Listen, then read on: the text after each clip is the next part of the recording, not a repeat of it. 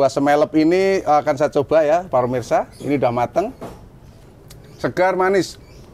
Cocok buat ibu-ibu. Jadi kalau para pemirsa pengen nanam anggur yang keras, uh, crunchy, keras, manis, Taldun solusinya. Kalau saya bilang manis, segar, layak untuk dikembangkan karena teran ini mudah buah untuk sembarang tempat mau di atas gunung, mau di pinggir pantai, teran tetap yang terbaik. Ini anggur jenis banana, dia mirip cabe ya, lonjong-lonjong cantik dan ini buah untuk gaya-gayaan. Jadi dia matangnya agak lama. Dia bisa empat bulan baru matang. Jadi ketika kita punya banana tiap hari kita senang tuh melihat anggur kita. Ya. Awet. Assalamualaikum warahmatullahi wabarakatuh. Selamat sore, jumpa lagi dengan saya Pak Suprianto di Kebun Anggur Papan Atas, Kebun Anggur Impor Jakarta. Uh, kali, uh, kali ini akan saya bagi tip dan trik cara merawat anggur ya di musim hujan. Biasanya para pemirsa uh, yang menanam anggur yang sudah umur, kira-kira umurnya di atas 2 bulan, 3 bulan dan pertumbuhannya sudah banyak, itu uh, ketika musim hujan kalau tidak terawat dengan baik akan diserang jamur. Nah, beberapa jamur saya jelaskan nggak usah terlalu detail ya para pemirsa. Biasanya ada di daun, ya, kecuali di batang di daun. Nah, ini contoh daun ya.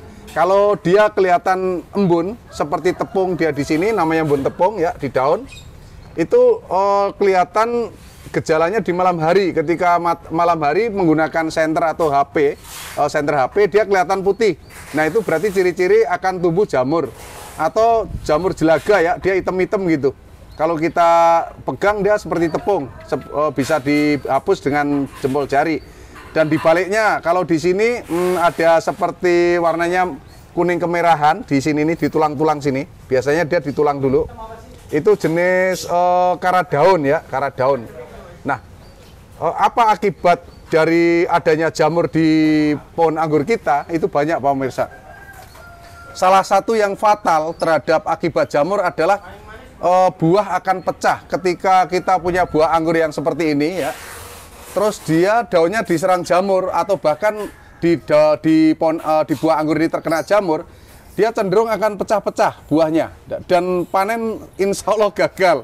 Ya, uh, bagaimana Pak terhadap pertumbuhan? Tentunya kalau anggur kita terserang jamur itu pertumbuhannya lambat. Tapi jangan takut ya, Pak pemirsa, nggak perlu kita takutin Pak. Terus kalau jamur gimana ini itu dan sebagainya. Yang penting tahu solusinya ya. Di antaranya kalau saya ya saya tidak mensponsorkan, artinya saya menggunakan ya itu. Saya menggunakan Ridomil Gold atau Nativo, nah, Nativo, ini Nativo, atau uh, menggunakan Amistar Top dan ada lagi skor dan sebagainya tapi saya nggak pakai karena barang-barang itu sulit didapat. Tapi kalau Nativo ini ada di mana-mana di setiap toko pertanian dia menjual nativo. Kalau di Domilgul kebanyakan di Jawa Timur, kalau di Jakarta ini mau nggak mau harus impor. Jadi uh, maksudnya impor di sana gitu, nggak keluar negeri. Saya belinya online. Kalau nggak teman-teman komunitas. Harga nah, berapa om? Ini saya lupa harganya yang penting tidak tidak sampai uh, kita ninggal KTP ya pemirsa. Boleh ngutang kalau ke sini minta dikit tak kasih.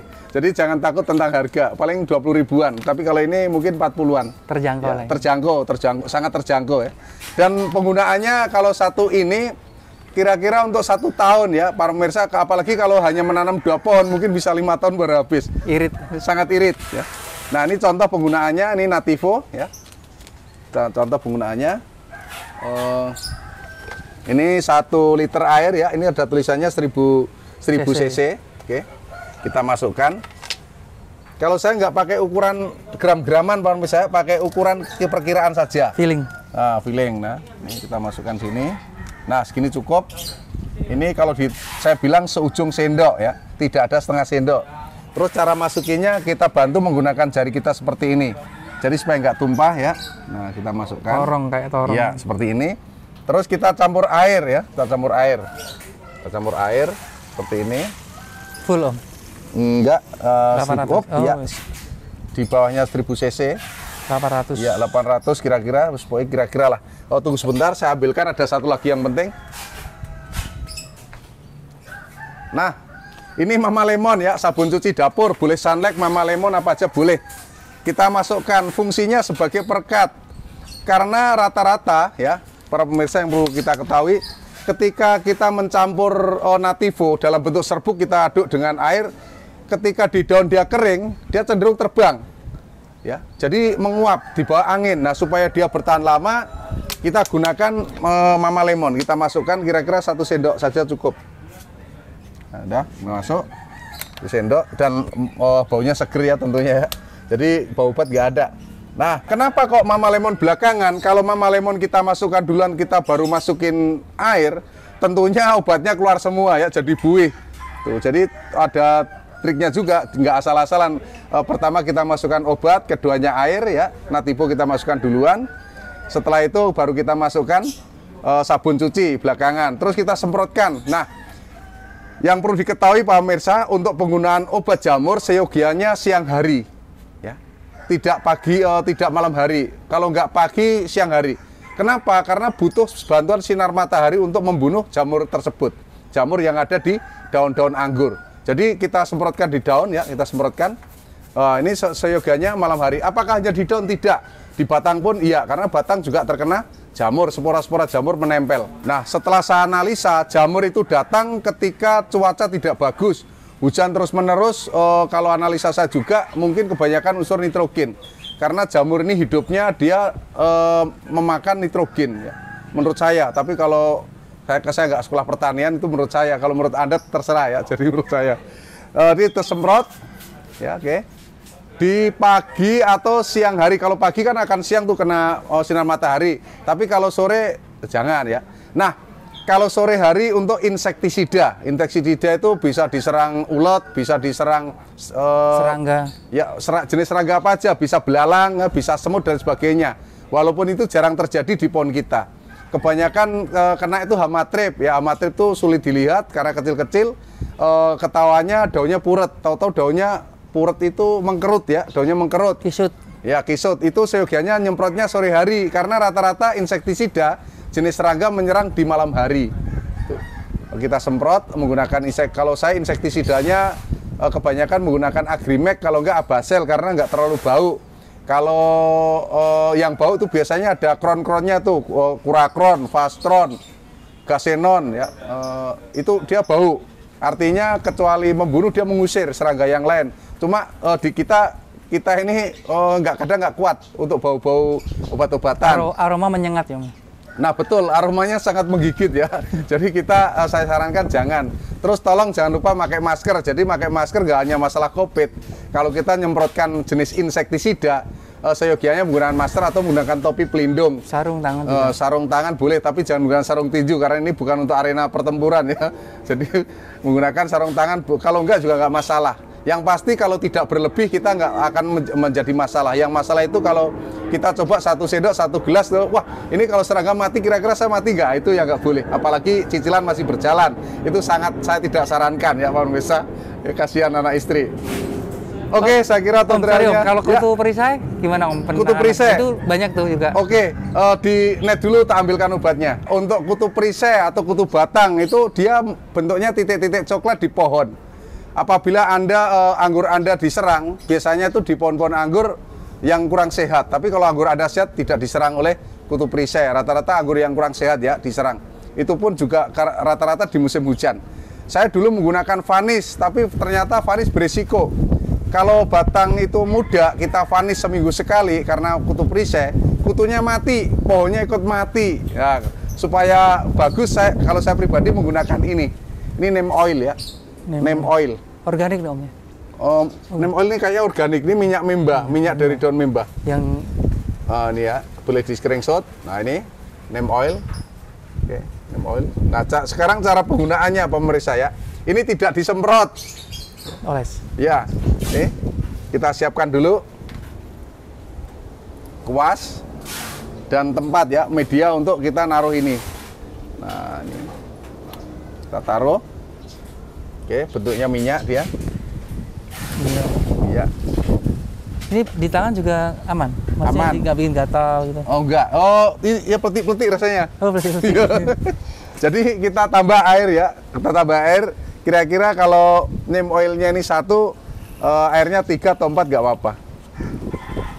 Nah, kita aduk dulu, karena dia namanya minyak dia nggak mau menyatu dengan air ya.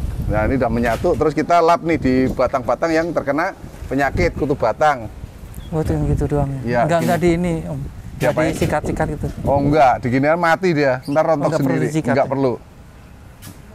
Kalau disikat itu menyakiti, Mas. Oh, Kadang-kadang ya. terluka. Batangnya eh. kadang Iya, cacat luka, cacat. Ya, seperti ini. Ini contoh aja para pemirsa apabila terkena kutu batang, nggak perlu takut. Ya, kutu perisai itu nggak perlu takut. Yang kita takutkan adalah kalau kita nggak tahu. Jadi ketika anggur kita itu diserang kutu perisai, itu nggak subur-subur ya. Eh, banyak nutrisi yang kesedot oleh kutu perisai. Yang saya heran, kutu perisai ini nggak bisa jalan, nggak bisa loncat, tapi beranaknya sangat cepat. Begitu dia kena seminggu, hampir seluruh pohon kena, seluruh batang. Dia nyerangnya di batang dan di dahan-dahan ini, dahan-dahan eh, daun. Di sini daun. dia, tangkai daun. Babrak. Iya, dia saya heran juga. Kenapa dia bisa Putih-putih itu kan ah, kecil-kecil. kutu putih? Eh, kalau untuk apa namanya? Kutu putih. Kutu putih atau Kutu kebul bukan Om? Ya, kutu kebul saya menggunakan confidor. Itu pun itu mah gampang ya. Apa aja jadi menggunakan abasel, uh, kurakon dan sebagainya disemprot. Insektisida pokoknya. Nah, insektisida. Kalau enggak menggunakan sabun aja. Yang penting saya kalau saya pribadi melihat kutu kebul saya tembak tuh. Saya tembak menggunakan ini nih, semprotan. Anggap aja ada kutu kebul langsung kita semprot. Kita tetap sama para pemirsa ya. Mau insektisida mau fungisida kita campur mama lemon. Kecuali mengurangi bau yang menyengat eh, dia sangat membantu untuk merekatkan obat tersebut ya. Merekatkan pada daun pada batang. Dan insya Allah eh, serangga atau fungisida apa jamur eh, sesuai yang kita harapkan eh, mereka mati dan tidak kembali. Tapi perlu diingat lagi untuk menjaga supaya tanaman kita di musim hujan tetap eksis, kita semprot seminggu sekali. Tapi kalau ketika kena jamur, seminggu boleh dua kali. Ingat yang paling penting adalah nyemprotnya di siang hari. Tadi untuk insektisida jenis serangga sore hari. Itu saran dari saya. Benar apa enggaknya? terserah pribadi masing-masing ya karena di sini banyak ribuan eh, penggemar anggur dan mereka punya keyakinan masing-masing dan yang saya buktikan di tempat saya seperti itu dan hasilnya kita bisa lihat ya buahnya banyak Eh, ini jenis banana Banana. eh, banana ini jenis heliodor ya heliodor Ini Eh, gampang berbuah ya Om ya? ya Heliodor gampang berbuah. ya? sangat gampang recommended buat pemula heliodor sama kayak Jupiter eh, kesenggol dikit hamil.